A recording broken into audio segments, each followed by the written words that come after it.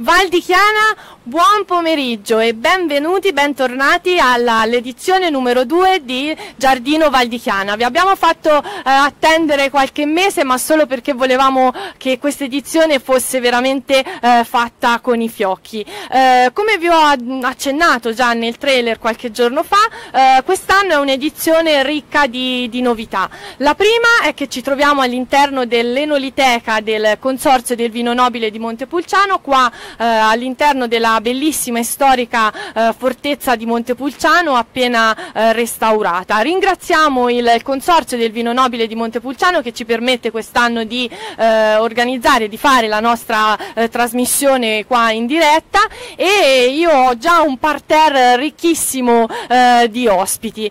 qua quest'anno, questo fine settimana, all'interno della fortezza di Montepulciano, oltre che a degustare un ottimo vino, è in corso Luce Luci sul lavoro. Luci sul lavoro è una manifestazione appunto eh, nazionale, fatta, organizzata a livello nazionale, eh, dove si tratta principalmente dei temi del lavoro, per analizzare un po' eh, qual è lo scenario lavorativo a livello sia regionale ma anche nazionale, quali sono le, eh, le attività che sono state messe in campo per favorire l'ingresso dei giovani nel lavoro. Ma per eh, parlarci meglio di questa organizzazione, di questa manifestazione che è arrivata, se non ero, alla quarta, sesta edizione, ho qui Enrico Limardo, organizzatore dell'evento ma anche il direttore della Fondazione dei Consulenti del Lavoro. Grazie, diciamo che sei l'ospite che rompi il ghiaccio di questa nuova edizione. È, è un onore e un piacere poterlo fare. E grazie dell'invito, grazie di aver scelto la nostra, eh, vabbè, l'Enoteca che è bellissima, ma anche la nostra manifestazione per lanciare la nuova edizione. Luci sul lavoro è la sesta edizione in questa formula ampliata e rinnovata, nasce qui a Montepulciano e, e ha l'interesse ad aprire qui un confronto, mi permetto un termine desueto ormai, ma che con, a me piace ancora, collettivo sul lavoro. Invitiamo qui a parlare eh, istituzioni, eh, politici, esperti eh, italiani ed europei e immaginare come può cambiare il lavoro, cosa si può fare per modificare il lavoro. Ma possono partecipare tutti quanti, giovani, inviando eh, filmati, inviando fotografie e abbiamo anche dei momenti ludici per capire, per trattare il lavoro. In questo momento in Piazza Grande quattro street artist di fama internazionale stanno disegnando il lavoro dal vivo, per cui fino a domani pomeriggio ci sarà questo impegno di questi artisti all'interno della magnifica cornice di Piazza Grande per poter immaginare e raccontare il lavoro anche con le arti visive. Luci sul lavoro è anche eh, il luogo dove si consegna il premio di laurea Massimo D'Antona, il miglior tesi dell'anno in diritto del lavoro viene premiata qui a Montepulciano all'interno di Luci sul Lavoro. Quest'anno abbiamo premiato una studentessa dell'Università di Ancona, eh, eh, la tredicesima edizione di, del premio di laurea Massimo D'Antona. Ecco, eh, Luci sul lavoro analizza lo scenario lavorativo nazionale e regionale. Mm, dal tuo punto di vista come, come, come è il, il, settore lavorativo? Quali sono, al di là delle nuove, mm, nuove, nuove eh, attività che sono state messe in campo per favorire appunto la, i contratti e l'inserimento nel mondo del lavoro? Beh, eh, è sicuramente un momento difficile eh, per, il, per il lavoro, forse meno difficile di qualche mese fa Qualcuno dice che ci, ci siamo, stiamo vedendo la luce di una nuova ripresa in termini di occupazione. Ora non voglio entrare nei dati perché non è il momento e non abbiamo i tempi. Sicuramente sono, messi, sono stati messi in piedi una serie di iniziative legislative o comunque dei progetti, degli avvisi per poter inserire giovani e meno giovani all'interno del mercato del lavoro o reinserire all'interno, non voglio entrare nel tecnicismo, però le regioni e il livello nazionale stanno immaginando appunto iniziative che, per incentivare il lavoro. Sicuramente i giovani devono immaginare di poter approfittare di tutte quelle che sono le, eh, i, anche i contratti riservati a loro, il, ad esempio faccio l'esempio più importante il contratto di apprendistato, i tre livelli di apprendistato per i giovani fino a 29 anni sono sicuramente delle occasioni di entrare all'interno del mercato del lavoro anche contando su un lato formativo che è sempre importante non solo per i giovani ma tutto lungo l'arco della vita. Ecco, sicuramente due eh, province che comunque eh, vedono un alto tasso di occupazione sono eh, la provincia di Trento e eh, di Bolzano. Eh, qua abbiamo Sergio eh, Vergari, il responsabile dei servizi del lavoro di Trento, della provincia di Trento. Mm, il modello che c'è nella vostra provincia, è possibile esportarlo e adattarlo anche qua in Toscana? Dunque, eh, ov ovviamente la contaminazione mh, delle esperienze regionali è, è, importantissima perché naturalmente sollecita eh, risposte eh, potenzialmente diverse rispetto a quelle che si danno in generale. Quindi eh, mi piace la domanda come dire, di interrogarci su come poi le buone pratiche possono essere trasferite. Eh, è chiaro che noi partiamo da una eh, realtà come quella di Trento che è un unicum a livello nazionale perché è stata la prima realtà a livello italiano che ha investito nelle politiche attive del lavoro, lo ha fatto nel lontano 1983 quando non esistevano ancora né le politiche pubbliche nazionali e neanche eh, le attività dei privati, no? che sono sorte molto dopo. Indubbiamente ehm, il, il, tema centrale è quello di ehm, assecondare eh, la, la ricerca del lavoro e l'accompagnamento al lavoro e, e assecondare anche eh, un concetto di fondo che mh, non sempre viene valorizzato adeguatamente, che è quello di concepire eh, i servizi e le politiche del lavoro come uno strumento per la ripresa economica e non semplicemente come eh, una conseguenza. Uh-huh. Abbiamo esempi lampanti di paesi europei, la Germania su tutti, che proprio grazie anche agli investimenti sulle politiche del lavoro accompagnate anche da lungimiranti eh, politiche eh, sui, sulla contrattazione collettiva, sui contratti collettivi, è riuscita a generare insomma, no? Eh, sviluppo economico. Quindi eh, avere a mente questo significa cioè, eh, l'investimento sui temi del sostegno del, dei, dei lavoratori da un lato, ma anche delle imprese, nella ehm, soddisfazione eh, occupazionale è, un, è un, un, punto di attenzione molto importante per lo sviluppo economico e per la ripresa. Eh, dopodiché eh, il modello trentino si eh, caratterizza per mh, mm, aver sempre messo al centro di tutto gli interessi del cittadino, do, doppiamente de declinati nella figura del lavoratore e del datore di lavoro e su questo il tema è stato eh, quello di costruire infrastrutture capaci di ascoltare le esigenze, quindi di raccogliere i fabbisogni, perché a monte di tutto ci deve essere consapevolezza dei fabbisogni che sono i fabbisogni occupazionali e quindi anche i fabbisogni eh, eh, eventualmente anche formativi per poter colmare la distanza rispetto a quelle che sono le esigenze del mercato quindi consapevolezza dei fabbisogni, eh, costruzioni di infrastrutture capaci di raccogliere queste istanze e poi eh, una, la costruzione di una grande batteria di strumenti per poter offrire delle risposte concrete. Quando parliamo di servizi parliamo di eh, attività, di percorsi che si alimentano di piccoli tasselli che sono poi le singole attività che si mettono in campo per riuscire a realizzare l'incontro tra domanda ed offerta. E, domanda ed offerta. e questo è un lavoro naturalmente che eh, si deve fare con grandi investimenti, cioè con la consapevolezza che bisogna mettere eh, risorse finanziarie eh, capaci di sostenere eh, questi percorsi che a volte sono percorsi ovviamente eh, di un certo impatto, insomma, no? sia per, per la numerosità dell'utenza che vi accede, sia anche dire, per eh, la robustezza dei percorsi che devono essere messi in campo, no? quando soprattutto si è incapaci di saldare immediatamente eh, la, la, domanda espressa da un'azienda con il fabbisogno di un, di un lavoratore. Quindi l'esperienza ci dice che bisogna lavorare in questa uh, duplice direzione, insomma, no? grande attività di raccolta delle istanze, quindi sportelli eh, e, e, diffusione anche della consapevolezza su quanto siano importanti eh, i luoghi insomma, di mediazione delle istanze e dall'altra anche capacità di offrire eh, delle risposte. Eh, il messaggio che possiamo dare eh, sia come istituzioni pubbliche che come operatori privati è quello di concepire eh, i servizi e le politiche come uno strumento, come dicevo prima, di grande sostegno.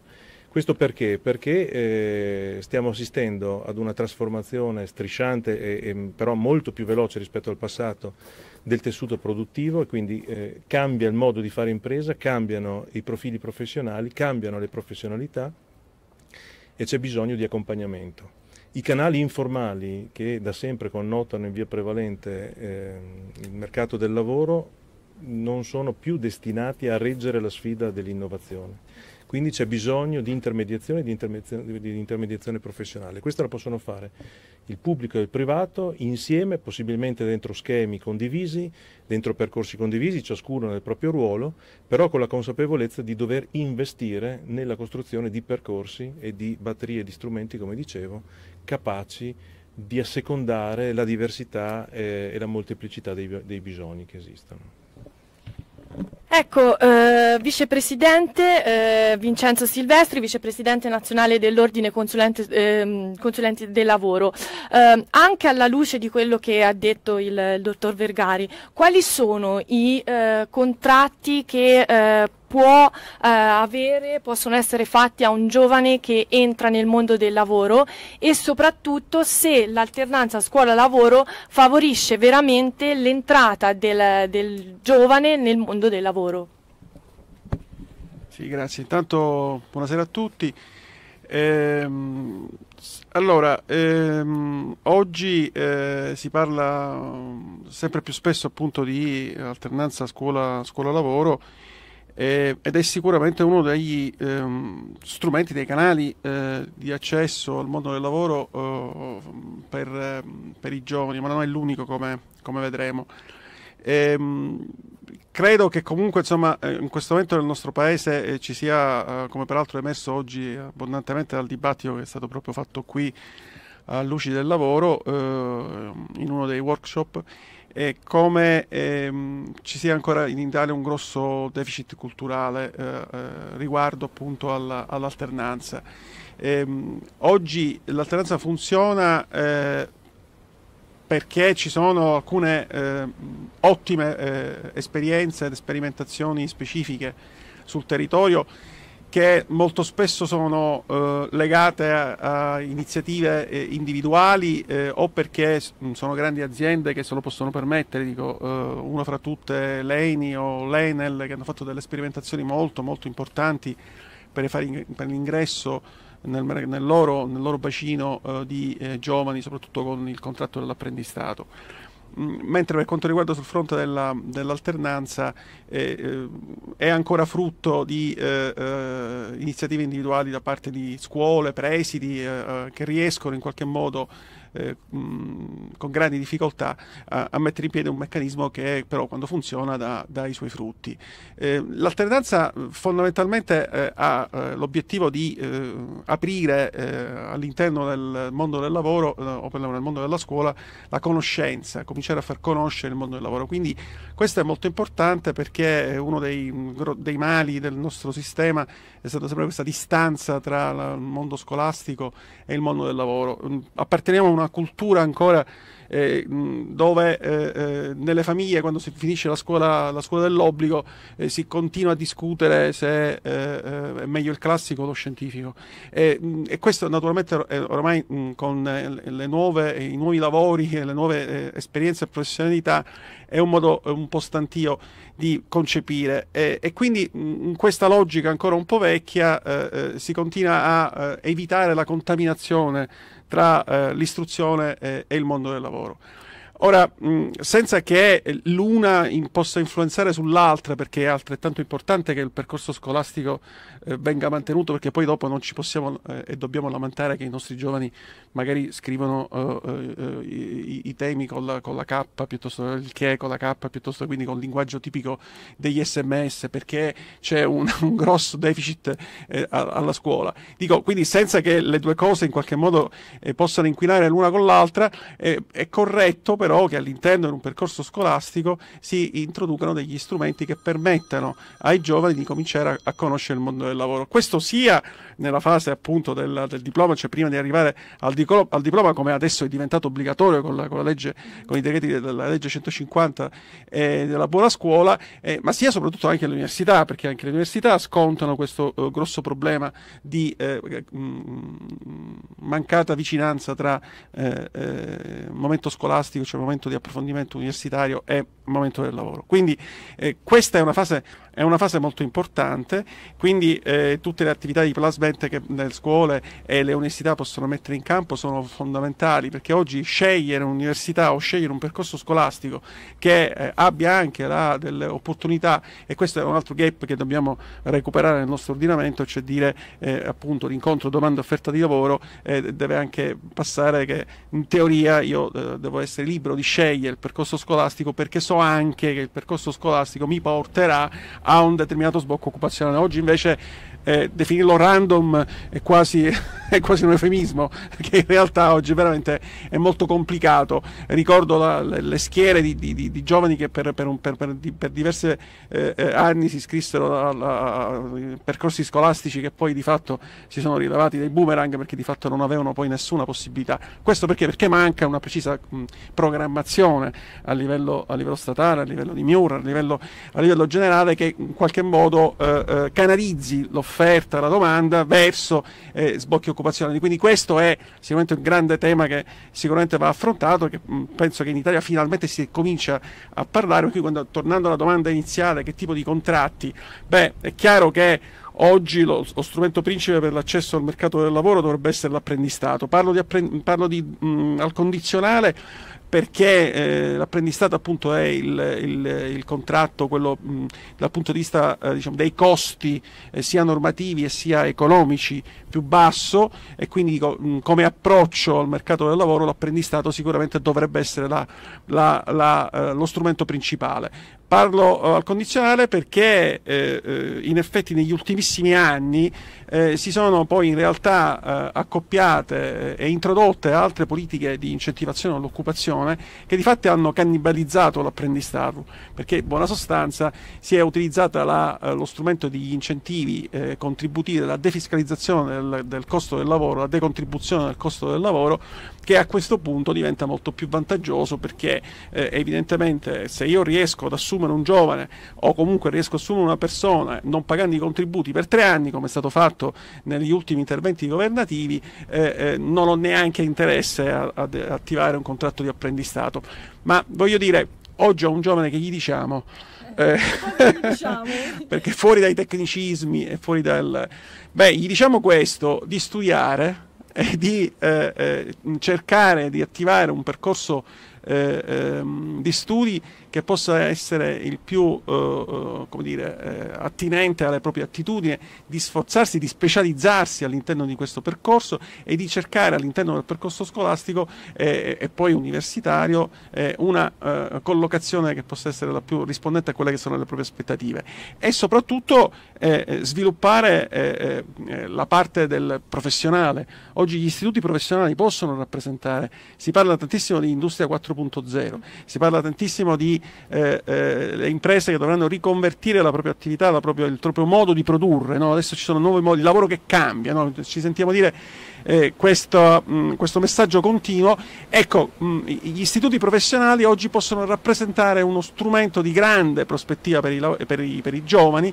perché effettivamente oggi abbiamo bisogno di, di manodopera specializzata di, eh, che sul campo possa da questo punto di vista eh, affrontare questo, questo, cambiamento. E credo che questo tipo di, di scelta professionale, quindi eh, voglio dire, ehm, non per eh, abbiurare la, la, la, la classica università, ma sono due percorsi diversi, sono due due percorsi che vanno valutati da parte dei giovani con grande attenzione perché oggi credo che bisogna guardare insomma, a 360 gradi perché eh, le politiche eh, purtroppo del lavoro sono eh, collegate alle politiche economiche e quando un processo economico non è sviluppato di conseguenza le, le politiche economiche, le politiche del lavoro piangono e ne soffrono eh, corrispondentemente. Allora Enrico, i temi discussi oggi, come abbiamo visto, sono veramente tanti e ci sarebbe da fare un'altra mezz'ora di, di, di, trasmissione. Eh, Flucic sul lavoro continua domani, qua sempre in fortezza. Brevemente quali sono gli appuntamenti che eh, domani possiamo, po insomma, avete in programma? Beh, domani mattina c'è un, un, importante incontro che può essere utile per moltissime aziende del territorio. Si parlerà del welfare aziendale, cioè quindi la possibilità data alle aziende di eh, incentivare il lavoro usufruendo di eh, detassazioni rispetto al, agli incentivi dati ai dipendenti cerco di, di, essere sintetico e di spiegarmi, un'azienda che ha interesse a incentivare il lavoro dei propri dipendenti e vuole dare qualcosa in più rispetto alla retribuzione ha la possibilità di farlo dando ai dipendenti servizi invece che retribuzione. In questo modo l'azienda risparmia i contributi, ma il lavoratore ha a disposizione sicuramente essendo detassata questa parte di, di, scusate, di retribuzione aggiuntiva, ha la possibilità di avere un valore economico maggiore da spendere in servizi. Ma i servizi li sceglie il lavoratore e non l'azienda, chiaramente, vanno dai più svariati. Ci può essere il carrello della spesa, i buoni benzina, la palestra, la piscina, l'asilo nido per i bambini. È una cosa molto interessante e innovativa, per cui chi avesse la possibilità di venire ad ascoltare avremo i maggiori esperti sul tema eh, qui con noi in Fortezza Montepulciano. E allora, veramente grazie, vi abbiamo un attimo rapito dai, dai vostri convegni. Eh, noi eh, diciamo, mh, mm, piccolo stacco relax, torniamo subitissimo, riempiamo i bicchieri. Eccoci di nuovo in diretta dall'Enoliteca del Consorzio del Vino Nobile di Montepulciano. Abbiamo già iniziato con Slancio la nostra seconda edizione del, ehm, del Giardino Valdichiana, già tanti temi, eh, già tante personalità e eh, approfondimenti interessanti per voi, i nostri lettori, che ovviamente voi ci potete mandare i vostri commenti eh, a redazione o semplicemente commentando la nostra diretta. Il nostro amico Vento quest'oggi ha deciso di venirci a fare visita, però va bene perché qua è veramente una bellissima terrazza dove oltre che a godere di una bellissima brezza possiamo vedere un panorama fantastico. Magari poi se, se ci seguite fino alla fine ve lo facciamo vedere, ma solo alla fine. Allora io do il benvenuto a un nostro nuovo ospite, il, um, il proprietario dell'azienda agricola Leberne, Andrea Leberne, sì. Andrea Natalini. Allora, benvenuto nel nostro, nel nostro, salotto. Diciamo che godiamo noi del panorama. Sì, eh? sì, allora, eh, ringraziamo eh, Andrea e il consorzio perché comunque noi eh, quest'oggi siamo un po' vostri ospiti. Eh? Siete un po' nostri ospiti. Allora, parliamo della tua azienda agricola. Dove è situata nel territorio di Montepulciano? La storia e quali sono i prodotti della vostra azienda? Allora, la nostra azienda, parlo della nostra azienda perché è un'azienda a conduzione familiare, eh, situata nella frazione di Cervognano, che è una piccola frazione che si trova tra Acquaviva e Montepulciano, diciamo a sud di Montepulciano, in un eh, territorio molto vantaggioso per la produzione di vino. La nostra azienda nasce alla fine degli anni 60 quando mio nonno e mio padre l'hanno riscattata dalla mezzadria già prima veniva condotta sempre da loro in, eh, in mezzadria. Eh, alla fine degli anni 60 hanno deciso di acquistare questa, questa azienda e di iniziare tra le, cose, le tante cose anche la, la, produzione di vino, quindi impiantando nel 69 il primo vigneto, vigneto che tutt'oggi è in vita e per la Toscana avere un vigneto così vecchio è già una cosa abbastanza, abbastanza rara. Poi alla fine degli anni 90 quando io comunque ho finito gli studi, ho, ho iniziato a lavorare eh, come dipendente, come abbiamo preso la decisione di intensificare il, nostro, intensificare il nostro, lavoro, quindi abbiamo aumentato il eh, numero della, degli ettari evitati e abbiamo anche iniziato, abbiamo iniziato a pensare di, di imbottigliare. Eh, la prima annata che abbiamo imbottigliato era l'annata 97, tra l'altro anche una, una, splendida annata. Si parla di annata 97, quindi prodotta e iniziata a vendere nell'anno 2000 con tutte quante le difficoltà che comunque ha un'azienda, un'azienda familiare, in quanto comunque devi pensare all'impianto della prima barbatella fino alla vendita dell'ultima bottiglia Era una, un po' un'avventura, non dico un tuffo nel buio, però insomma un, un tuffo un po' pericoloso perché comunque per, una, per, un'azienda che aveva sempre solo prodotto vini sfusi e, e, viveva anche sui seminativi e sul bestiame, era una cosa completamente nuova che soprattutto al, al mio babbo lo, lo, spaventava, lo spaventava tanto. Oggi possiamo dire che le cose sono andate abbastanza bene, la nostra azienda è abbastanza conosciuta, il prodotto che produciamo a, riusciamo a venderlo tutto, attualmente produciamo circa 50-60 mila bottiglie e, e vengono vendute tutte quante abbastanza bene. Ecco, um, parliamo un attimo del, um, del vino nobile. Uh, quali sono i punti di forza di questo, di questo prodotto, ma anche punti critici se ci sono?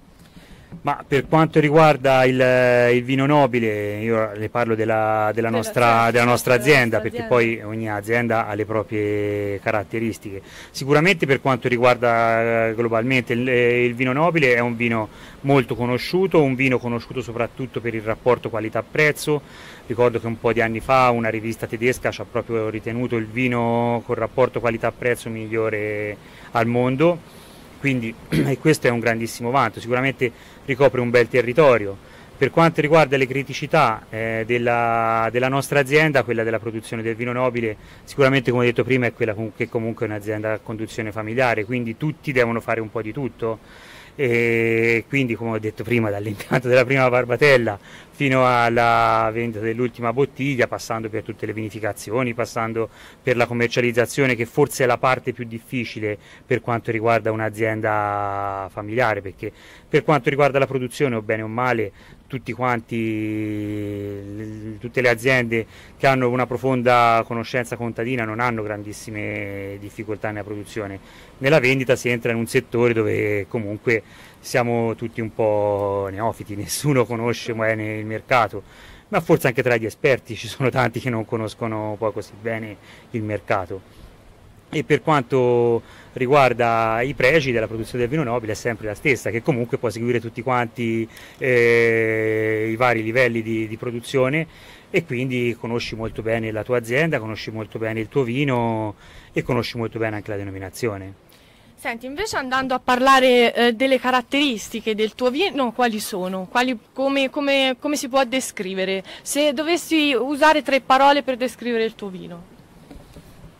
Tre parole sono poche, sicuramente intenso, questo si sente al, al naso, color, color, rosso rubino e poi come tutti i vini a base di Sangiovese qualche piccolo riflesso, un po' più eh, sull'aranciato, diciamo, ancora questo è un vino molto giovane quindi non ha grandissimi riflessi. Voi non lo potete terzo... sentire l'odore ma ve lo raccontiamo. E il terzo, forse per avere te il terzo termine bisognerebbe assaggiarlo. Assaggiarlo. Allora però diciamo io dopo lo diciamo dopo, dopo ok, va bene. Finale. Senti, quest'anno per, um, non è un, un, clima, è un po' anormale, diciamo eh, le gelate di fine aprile, questa siccità, una, una primavera poco piovosa. Come sarà la, la vendemmia del 2017?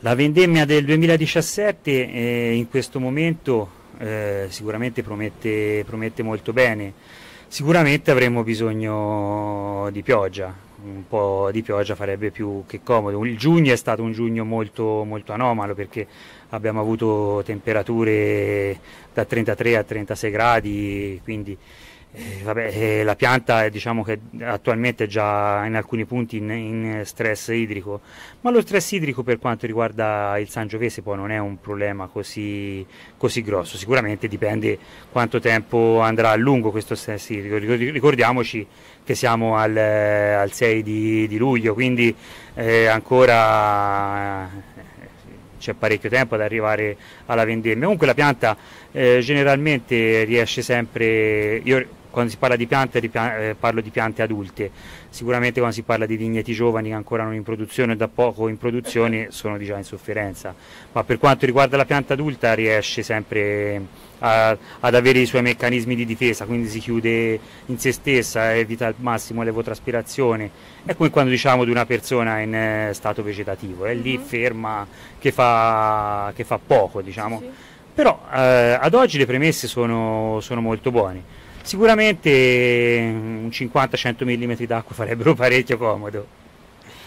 Senti, tu arrivi anche da, una, da l'esperienza appena, appena, conclusa da presidente del consorzio del vino nobile. Eh, com'è stata questa esperienza? Come, come giudichi? Ma è stata sicuramente un'esperienza molto bella, un'esperienza formativa, per me eh, ho imparato tante cose, penso di aver dato tante cose, un, mi ritengo un buon conoscitore del mio territorio perché comunque eh, la mia famiglia è nata da Montepulciano da tre generazioni, forse anche prima, a quanto pare vengono da Torrita, insomma non è che sia poi così, così distante, un paese a caso. un paese a caso. E comunque, come dicevo, per me è stata una, una bella esperienza. Poi eh, arrivi a un certo punto dove comunque tra azienda, tra famiglia, tra un cantiere di nuova apertura perché stiamo ampliando eh, la cantina, arrivi a un certo punto dove eh, come si dice quando la fatica supera il gusto forse è bene lasciare la, eh, il passo ad altre persone. Continuo ad essere consigliere do una mano dove è possibile, quando mi viene richiesta eh, a Piero lo faccio molto volentieri, Piero me lo chiede molto volentieri, quindi è, è stato sicuramente una bella esperienza. Ecco, Piero Di Betto diciamo è il sì. nuovo, è sì, il tuo, hai passato il testimone a sì. Piero Di Betto. Allora, eh, tu eh, hai accennato all'ampliamento della tua cantina e quest'inverno, mh, tornando un attimo al discorso del lavoro, hai anche ospitato tre ragazzi eh, in alternanza scuola-lavoro. Com'è stata questa esperienza per te e come vedi i ragazzi i giovani avvicinarsi al mondo del vino? Allora, premetto che due di questi ragazzi sono venuti anche in inverno, e tre sono stati ora a giugno, eh, a, fine, a, fine, scuola. Ma in particolar modo i due ragazzi che comunque frequentano l'azienda di più, eh, loro eh, ritengono, almeno a quello che dicono a me, la ritengono una bellissima esperienza in quanto eh, riescono a, a mettere in pratica quel, un po' di tutta quella teoria che gli viene spiegata e poi spesso e volentieri si capisce anche un po' la differenza fra teoria e pratica e forse vederla in campo è sempre la miglior cosa. In particolare, anche perché i due ragazzi eh, comunque sono abbastanza abituati al lavoro in campagna, mentre eh, a primavera è venuta anche una ragazza che non aveva diciamo, mai calpestato i campi e forse è, è, quella che è stata proprio più entusiasta in quanto eh, per lei sono tutti quanti termini nuovi, una ragazza che premetto eh, è molto brava anche a scuola, penso che abbia la media del 9, roba del genere, insomma una ragazza bravissima, che però eh, quando ha visto poi la, la pratica eh, a confronto con la teoria Rim- forse in un momento anche un pochino spiazzata, poi comunque vabbè, eh, le persone brave, le persone che, eh, sa- che, sanno studiare, le persone che sanno comprendere, riescono a comprendere subito anche il lavoro, quindi comunque eh, la, la, la, è sempre molto importante anche la cultura, questo è sicuro. Certo. Senti, eh, per chi volesse visitare la tua cantina è possibile fare delle visite, delle degustazioni?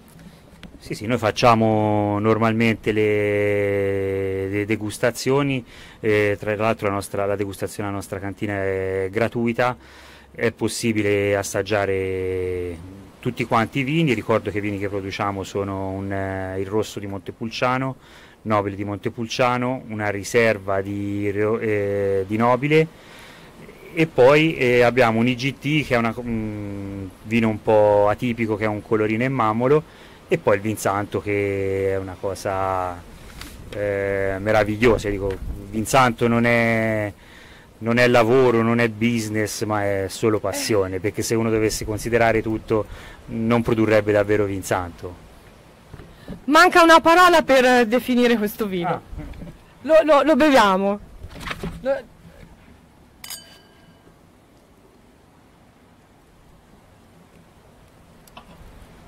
telespettatori è buono, posso dire che è buono, io metto una parola è buono. Ma io lo terrei intenso e profondo, proprio morbido, bello, tannico. Da Come- abbinare con... Da abbinare un po', un po' con tutto. Comunque, vabbè, il top è in, eh, con eh, carni rosse formaggi stagionati. Comunque da bere anche a tutto pasto. Allora Andrea, ti ringraziamo per essere venuto qua a trovarci in questa bella... So che eh, questa terrazza è veramente rilassante e ci staresti le ore tranquillamente, però ti dobbiamo salutare. Durante il periodo della presidenza ci sono stato tanto. Ah, ecco, ecco. ah, ecco, ecco, quindi lasciamo posto a degli altri ospiti. Ti ringrazio davvero per essere stato nostro ospite qua eh, questa sera. Voi continuate a seguirci. Finiamo di bere il vino e torniamo subito. A tra pochissimo. Ed eccoci di nuovo qua, ancora in, dile- in diretta dall'Enoliteca del Consorzio del Vino Nobile di Montepulciano all'interno della fortezza di Montepulciano.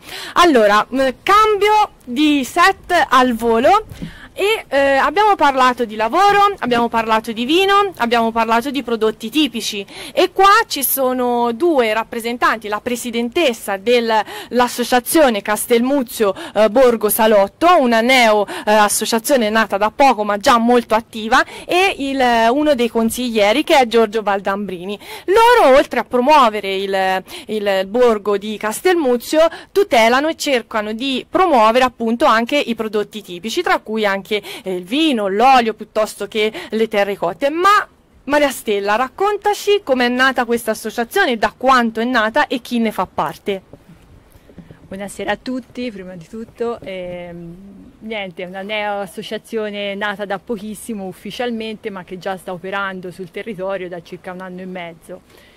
È nata da un gruppo di amici che si sono trovati ad organizzare delle feste, la festa dell'olio del 2015 mi sembra, che venne particolarmente bene, fu molto sentita e molto ben costruita. E da lì è venuto fuori il divertimento di, di cercare di valorizzare appunto l'olio, ma forse anche proprio il nostro territorio di Castelmuzio, perché Castelmuzio è un piccolo borgo qui vicino che pochi Che conoscono. forse dalla terrazza lo vediamo anche. forse lo vediamo, sì, ma pochissimi conoscono perché sono tutti turisti, anche le passeggiate domenicali eh, vengono fatte sulla traiettoria Pienza, San Quirico, Bagno Vignoni, quindi noi rimaniamo un po' in una zona tranquilla. E è bellissimo, è un borgo circolare, ha dei panorami stupendi, delle luci fantastiche, è un borgo definito da molti magico.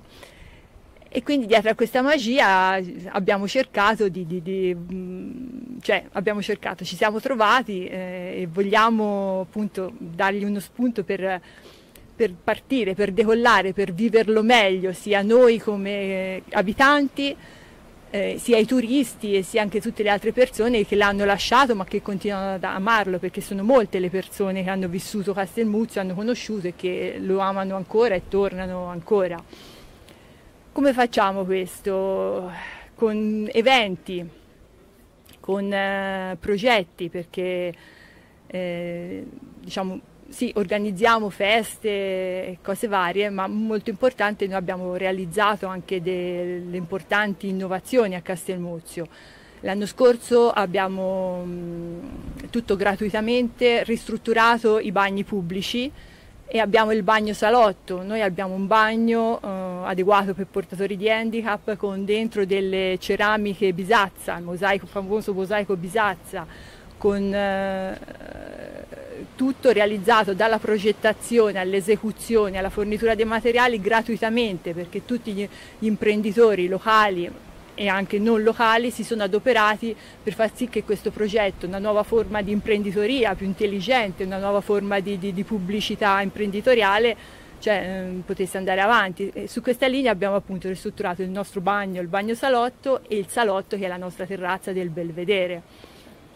Perché salotto, Castelburgo salotto? Perché lì si sta bene, cioè, cioè si può parlare, si può mangiare, chiunque può fare, può- in questa terrazza può bere un bicchiere di vino, si può trovare, può giocare a carte, può scambiare due parole oppure non le può scambiare, come un salotto proprio di casa propria, è la, è la stessa cosa. Quindi diciamo che qui all'Enoliteca a Montepulciano vi sentite un po' a casa. Siamo sulla terrazza, possiamo bere un bicchiere di vino, non- gli elementi ci sono tutti. Senti, eh, attualmente sono in corso due manifestazioni. Le vogliamo ricordare mh, come si chiamano, che cosa proponete al turista ma anche al cittadino che abita a Castelmuzio?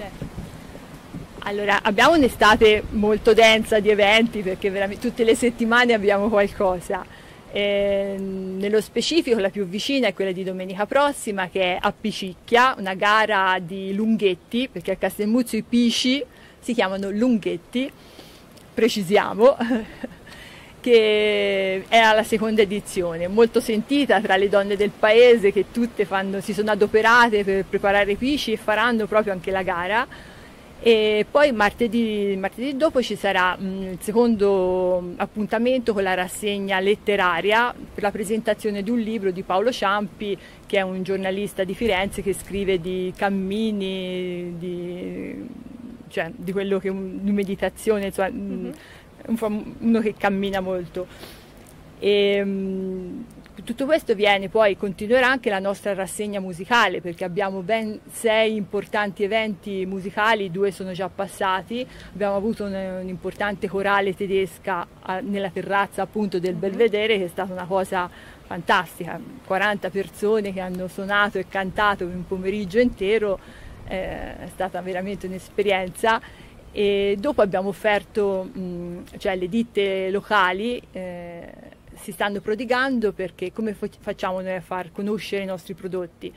Tramite le nostre ditte che offrono appunto dei- de- degustazioni gratuite e sono venute veramente mh, delle cose fantastiche, sì, molto belle, dove vino, olio, pane, eh, le nostre caratteristiche sono, credo sono state molto apprezzate da turisti e anche da persone de- di Castelmuzio. Giorgio, appicicchiare questo torneo di lunghetti, allora non di pisci ma di lunghetti, com'è nata quest'idea?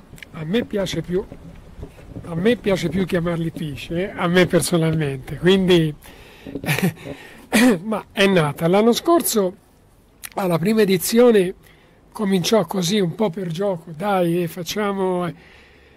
poi visto che, che è piaciuto eh, abbiamo pensato di fare la seconda edizione e magari ampliando anche il numero delle squadre.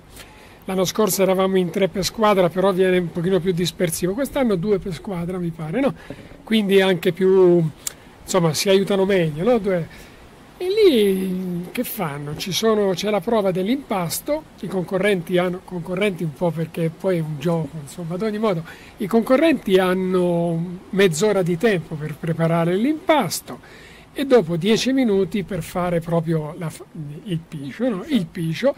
Ovviamente ci sarà la giuria che verificherà l'impasto, la durezza, come, come deve essere, e poi verificherà anche come sono fatti i pisci che non devono essere inferiori ai 5 mm, quindi occhio. Ecco.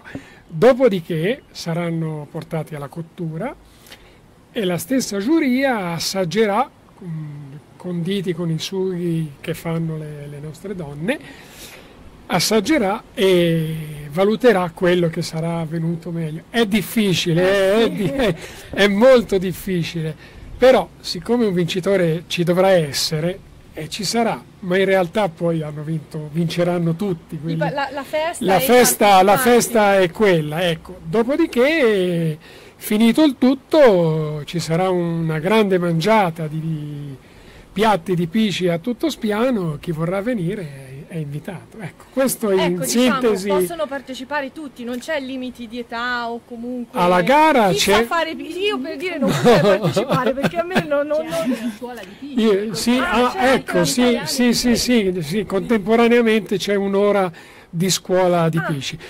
Possono partecipare? Sì, tanti, però credo che siano, si sia arrivati a un numero abbastanza chiuso già, perché poi ci manca il tempo comunque, perché lo facciamo nella piazza del paese, il posto è quello, è, è una bomboniera, ma più di tanti tavoli non ci stanno, quindi è così. E poi dopo tutti a mangiare, insomma. Eh. A mangiare i prodotti tipici. Certo. Senti Maria Stella, mh, ci sono delle difficoltà nel promuovere un borgo eh, piccolo come può essere Castelmuzio? Avete trovato delle, delle criticità o comunque eh, sono facilmente eh, circumnavigabili queste- que- questi eventuali problemi che avete trovato? Mm, O non so, mh, spero di non li trovare, però ci sono sempre qualche piccolo inghippo. Beh, come tutti i paesi, come tutti i piccoli paesi, ci sono i propri equilibri, le proprie... quindi bisogna mh, andare sempre molto piano nel rispetto di tutti, di tutte le persone. In linea di massima comunque abbiamo trovato tanto entusiasmo, sia nelle persone giovani che meno giovani, perché noi abbiamo delle persone molto attive che abbiamo la mamma appunto di Giorgio che farà i pisci domani, che ha, non diciamo l'età, No, no, perché poi si altri- arrabbia. che si arrabbia. Poi collaboriamo con tutte le associazioni perché praticamente siamo 300 anime eh, e quindi gli attivisti si ritrovano in tutte le associazioni. E ehm, sì, criticità forse all'inizio, uno viene guardato un attimino con eh, sospetto, non nemmeno sospetto, diciamo un po' da lontano, però a ogni riunione che facciamo, ogni festa che facciamo, aumentiamo sempre di persone sia che partecipano, quindi questa è una cosa molto importante. Quando poi ce ne andiamo via tutti con il sorriso, credo che sia veramente bello, insomma, è lo scopo poi alla fine finale, lo star bene a Castelmuzio, lo star bene appunto chi lo vive, chi lo frequenta per un breve periodo e chi, chi appunto lo ama, insomma, ecco, deve lasciare un buon, un buon ricordo, sì, un buon sapore. Senti, questa associazione è anche eh, un modo, è un- un- aggrega un po' il paese, fa sentire più, più il paese dei cittadini, può, può essere anche questo uno scopo dell'associazione.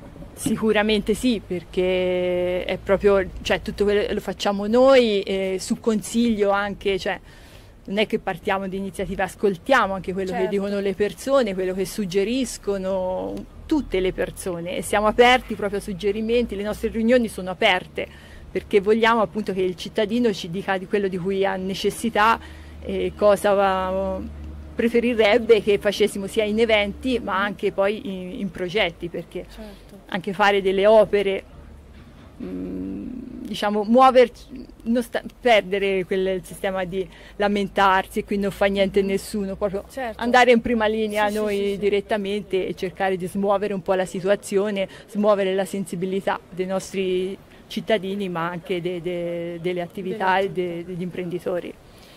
Senti, di solito le interviste eh, si finiscono con eh, progetti futuri. Voi, oltre a queste attività che state facendo e al torneo di appicciamento, che è proprio a a pochissime ore dal via del torneo, ci sono, ci sono altri progetti che avete per il futuro o cui state già lavorando o che vorrete lavorare? Beh, certo, come eventi sicuramente il più importante che dobbiamo iniziare a organizzare sarà la prossima festa dell'olio, anche in un'annata un po' infausta come questa. Quindi 13, 14 e 15 ottobre, festa dell'olio nuovo a Trequanda, ma parte con Castelmozio. E come progetti sì, abbiamo in ballo diciamo, di rivedere un attimino la segnaletica, ma la segnaletica sotto un punto di vista anche estetico del, del borgo, quindi le varie indicazioni, oppure anche targhe che ricordano qualcuno, dei pensieri che ci hanno suggerito anche i numerosi turisti.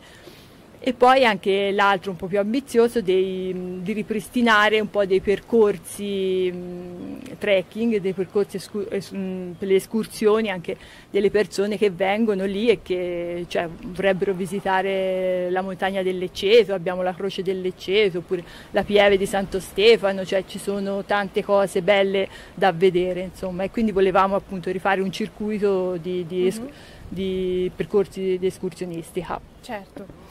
Allora Giorgio, le cose da fare sono tante, Sì, eh, ma direi di noi della Val di Chiana siamo, siamo In mm, lavorativi in Eh. prima linea e siamo sempre pronti a nuove sfide e a nuovi progetti. Allora Maria Stella e Giorgio, io vi ringrazio per essere venuti qua a trovarci nella nostra terrazza qua su, sulla Val di Chiana che se guardiamo bene forse Castelmunzio lo vediamo. Belvedere, Dal benissimo. dal dal Belvedere lo Belvedere si vede Montepulciano. Eh, eh, allora magari domani sera ci salutiamo. Allora, grazie, grazie davvero di essere stati con noi. state ancora lì perché non abbiamo finito, ve l'abbiamo detto, nuova edizione più ricca eh, con una nuova location qua all'interno dell'Enoliteca del Consorzio del Vino Nobile. Tra pochissimo arriviamo con l'ultimo blocco e vedrete che personaggi avremo dopo. State lì, non ci abbandonate. Ciao! Ed eccoci di nuovo tornati qua dall'Enoliteca del Consorzio del Vino Nobile di Montepulciano.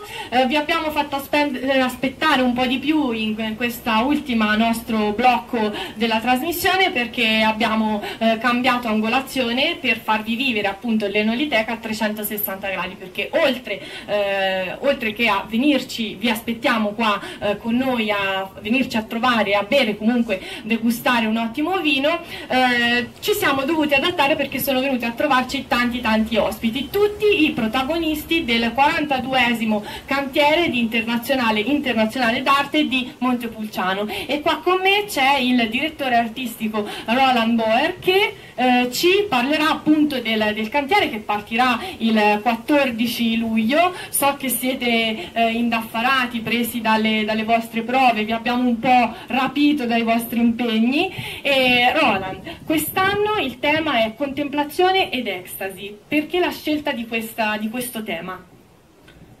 Allora, contemplazione ed estasi si capisce meglio eh, sullo sfondo delle edizioni dei, degli anni passati.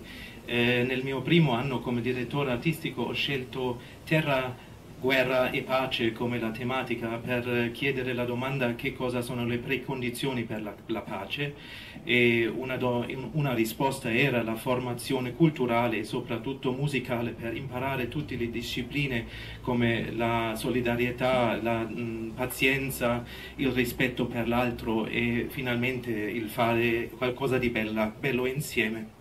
L'anno scorso eh, abbiamo passato una tematica eh, natura, tra natura e tecnologia con la domanda se eh, noi come esseri umani siamo ancora eh, parte della natura o siamo già eh, granocchi di una macchina che non si ferma più.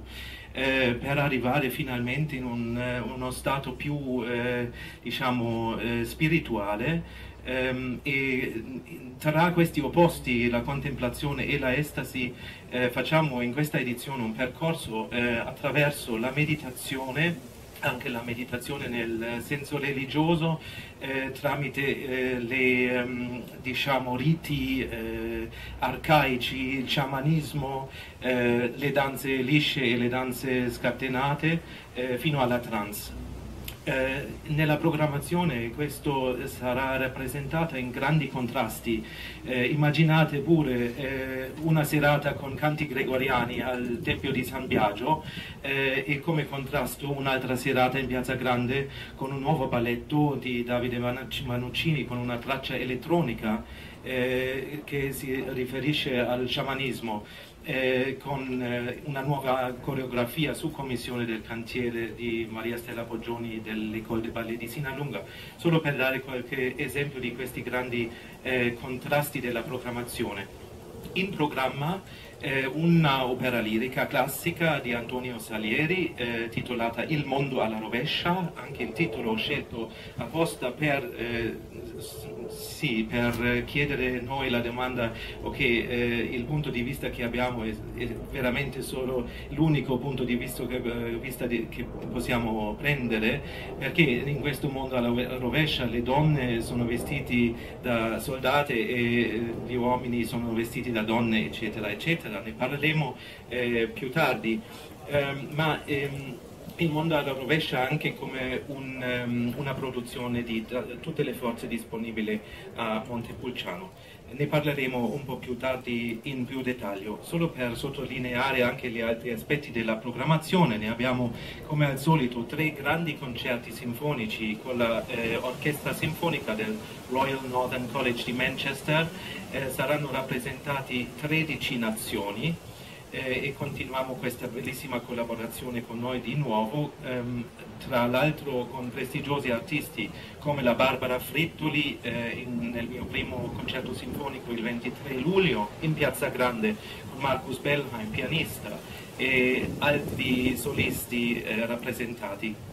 Finiamo eh, con un concerto di chiusura in Piazza Grande con tre direttori sul palcoscenico, con Hari Shankar, un giovane eh, direttore malaysiano, eh, e anche con Marco Angio, specialista della musica moderna, eh, e me. Altre cose come improvvisazione in piazza, eh, anche, ho già detto, la gala di danza, musica da camera, eh, tanta roba, quindi più di eh, 40 se non 50 eventi in due settimane.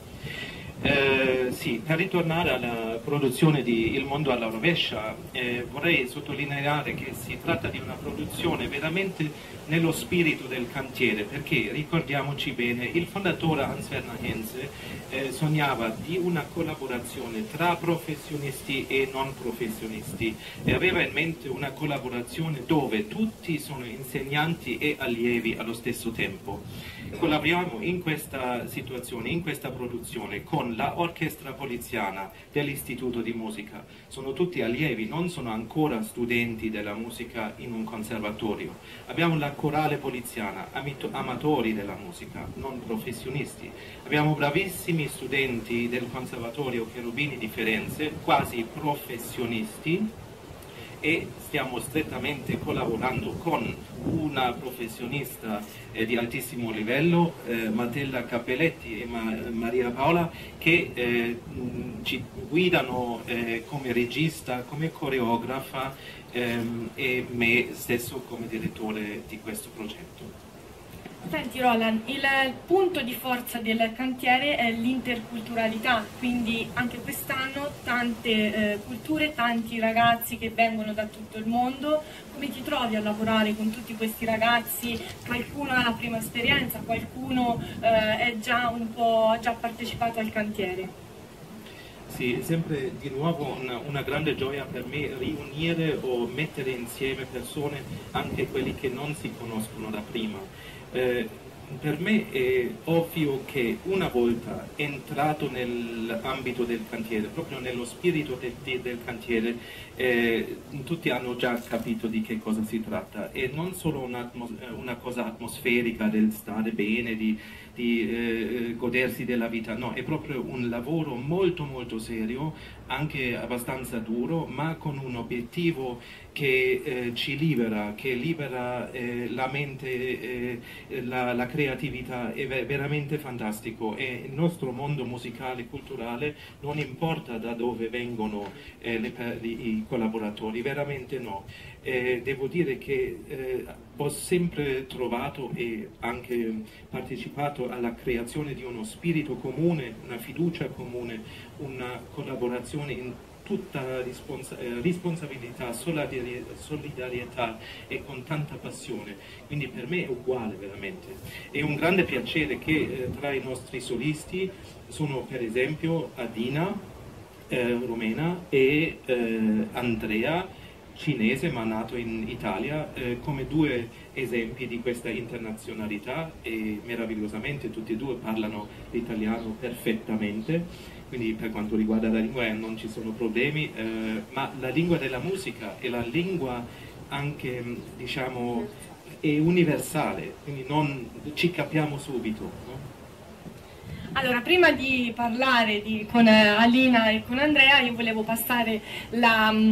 La parola alla regista del primo spettacolo, un po' eh, l'emozione del, di essere un po' il primo spettacolo che inaugura tutta, tutti questi 62, 61 eh, spettacoli di cui si compone il, il cantiere internazionale. Eh, qua abbiamo Matilda Cappelletti che lavora al mondo alla rovescia. Come ha lavorato su quest'opera? Quali sono, qual è il messaggio che tramite quest'opera vuole far arrivare allo spettatore?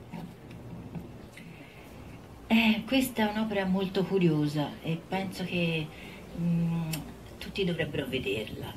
Eh, il motivo è semplicemente perché eh, è di una modernità incredibile.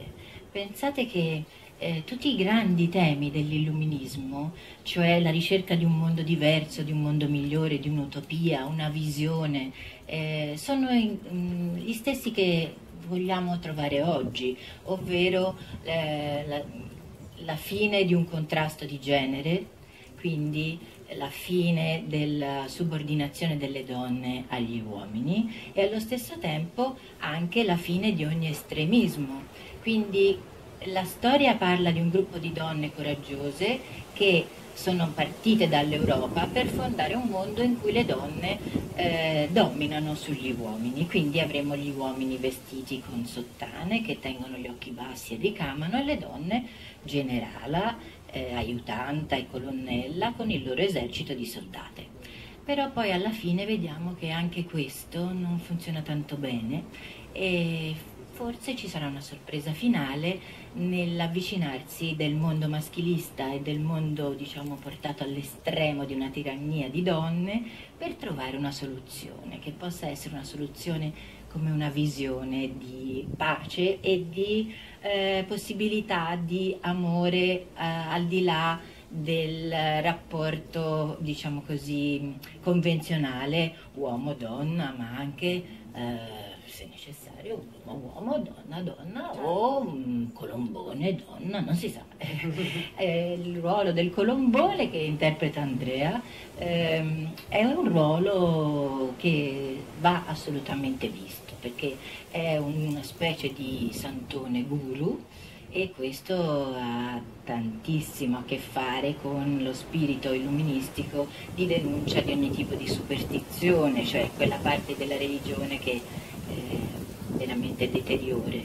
Quindi un sacco di temi moderni, un sacco di temi molto divertenti perché ci sono dei paradossi vedendo delle, degli uomini, il coro che il poliziano che fa questa quest'opera, insomma, i primi giorni, vestiti tutti grandi professionisti, medici, ingegneri, amanti della musica che partecipano vedersi vestiti da donne, non è stato facile, ma abbiamo imparato molte cose sulle donne, sugli uomini e sui loro problemi reciproci. Quindi penso che sia molto divertente e che dobbiate venirlo a vedere. Poi l'altra cosa che volevo dire è che lavorare a Montepulciano è una meraviglia, non solo per il luogo ma per l'atmosfera che si respira rinforzando quello che ha detto il maestro che è qui da tanti anni e quindi voglio dire non ci si sarà abituato perché non ci si può abituare a una cosa del genere, però è veramente uno shock eh, ritrovare quella che è la visione che io avevo conosciuto a Obra, lasciata da Britney Pierce, la visione che aveva lasciato il maestro Farulli con il maestro Desderi nel progetto Mozart,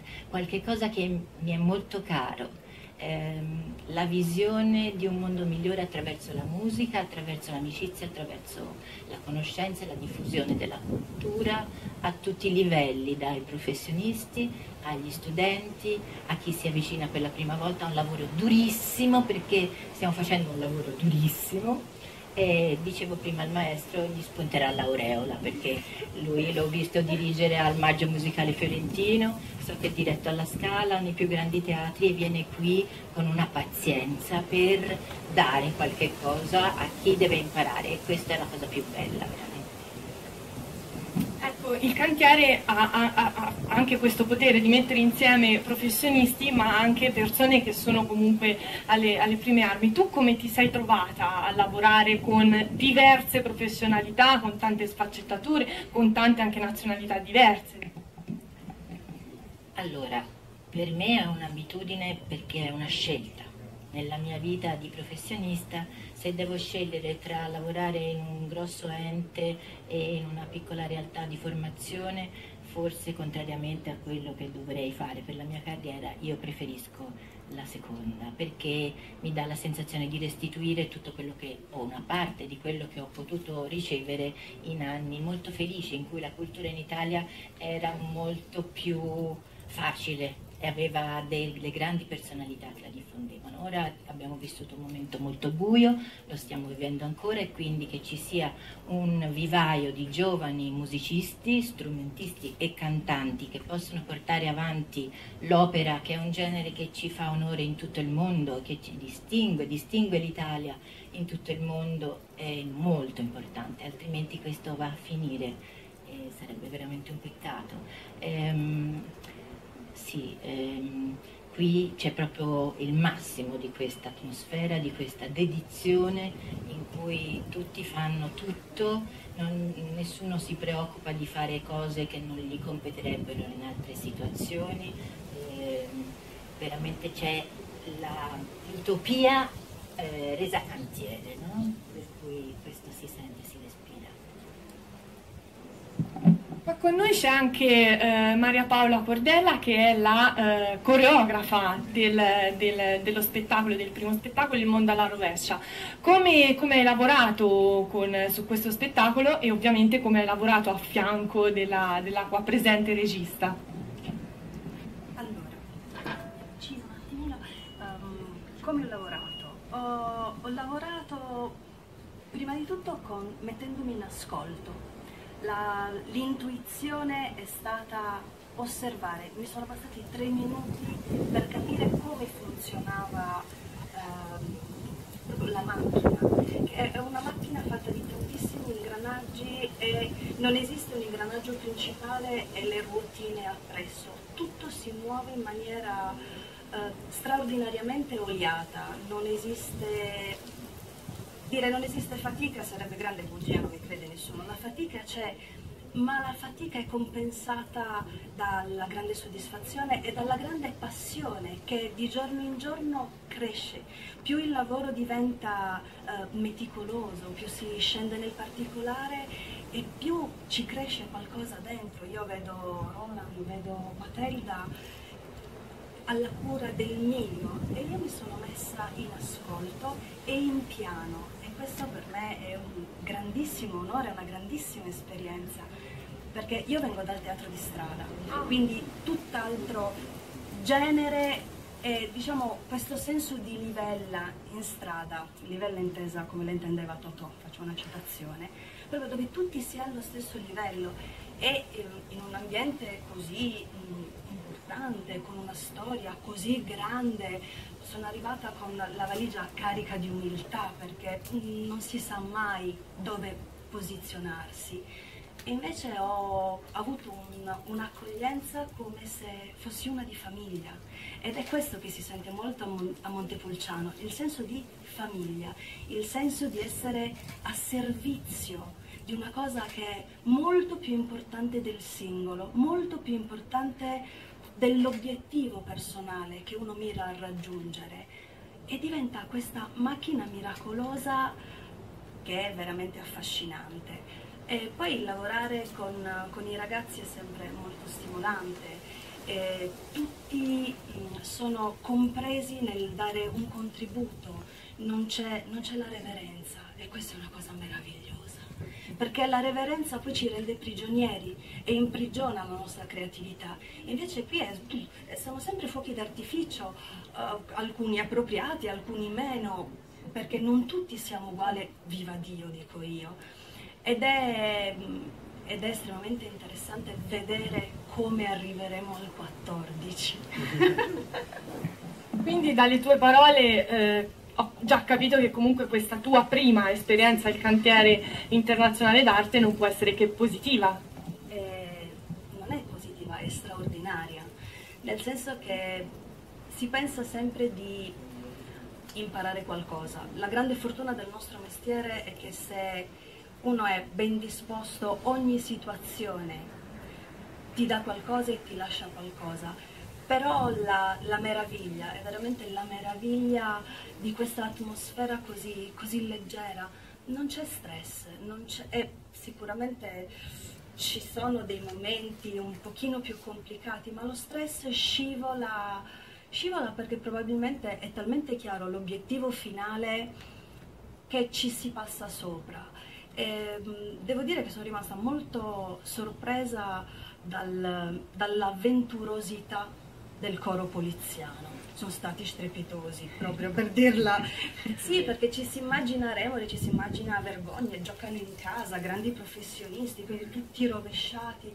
Invece hanno dimostrato una grandissima apertura e una grandissima giocosità, proprio si sono messi in gioco nel, proprio nel, nel, nel sistema, nel, nel, meccanismo che uh, Mattelda insieme a Roland hanno veramente preparato in modo che tutti, nonostante dire, la prima impressione, si trovassero a proprio agio. E questo credo che sia una delle radici che muove il cantiere, cioè dove ciascuno trova la propria collocazione e la propria soddisfazione, che non è un livello personale, ma è proprio una sensazione che riguarda tutti e si propaga. Penso siano le emozioni che ve, la, cioè, ve l'ha descritte proprio benissimo perché qua abbiamo eh, Alina dalla Romania e eh, Andrea dalla Cina giusto? No. più o meno, più o meno, più o meno. Romagnolo, ma eh, allora ragazzi, eh, voi siete stati tirati un, un, ballo diverse volte proprio per la vostra eh, internazionalità, diciamo che siete un po' eh, la parte concreta del, del, dell'internazionalità del cantiere. Eh, vi hanno fatto tanti complimenti, a questo punto io chiedo a voi com'è lavorare, che cosa provate eh, a lavorare con dei professionisti come loro, con una realtà così bella, così apprezzata che insegna tanto oltre che a donare tanto al pubblico. Uh, niente, c'è poco da aggiungere a quello che hanno detto loro, l'atmosfera che hanno descritto l'abbiamo sentita dalla prima prova e allora mi sono rilassata, siccome avevo anche tanta di lavorare con dei professionisti come loro.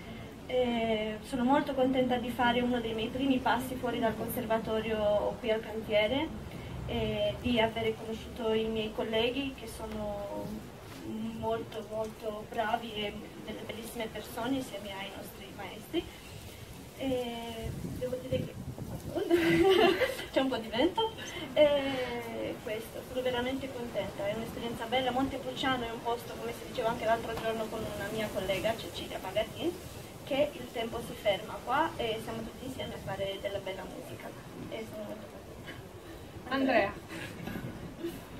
E anch'io sono molto contento di essere qui a Montepulciano e sì, devo ammettere che appena sono arrivato, non conoscendo nessuno, ero molto emozionato, però ho percepito subito quest'aria di famiglia che c'è fra il cast, i maestri e quindi mi sono trovato subito molto bene. Sentite, come vi siete avvicinati al, canto lirico? Perché tu sei, eh, tu, insomma... Sì, sì, so. io sono un soprano, Andrea è un baritono. Uh, in realtà io per caso, perché volevo fare l'attrice, eh, i miei mi hanno spinto sempre verso la matematica, io invece ad un certo punto ho detto voglio fare musica, ho fatto un po' di violino, poi non si poteva perché ero, ero troppo grande, allora devi cantare. E ho cantato e questo è stato un'ottima scelta, devo dire. Sì, sì. Per il momento sì. E io ho iniziato alle medie col flauto traverso ho fatto sei anni di conservatorio, dopodiché mi sono dato al canto, dato che gli insegnanti mi hanno spinto molto e dicevano che avevo una bella voce, che dai, mi hanno spinto a provare, dopo mi è piaciuto e hai la possibilità di vivere tutto questo. allora, Roland, grazie davvero perché tu ci porti sempre dei, dei, delle personalità molto interessanti da, da, conoscere e da scoprire.